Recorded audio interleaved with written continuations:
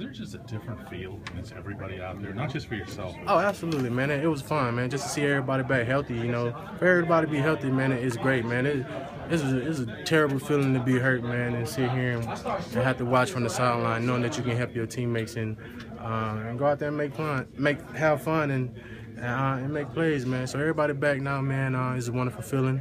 Uh, I'm glad to be a part of it, and uh, you know, I just wish for the best. You know, I hope we can stay healthy and uh, and do everything we can to make this run the, the best run that that is. Feeling to have everybody out there like that?